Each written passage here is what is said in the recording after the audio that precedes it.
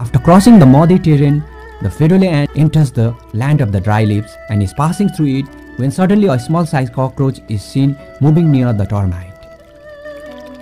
Due to the dry leaf in the front, it is difficult for me to see where the Pheidole ant is, so I decide to remove the dry leaf obstructing my view. On doing so, I see this. Both the ant and the termite seems to be caught in some sticky material. The cockroach that had moved away while I was removing the dry leaf soon returns back to the scene and it begins to point its rear end towards the ant as if it is spraying some kind of sticky chemical on the ant. And then the cockroach moves towards the termite and starts biting her. What kind of cockroach is this?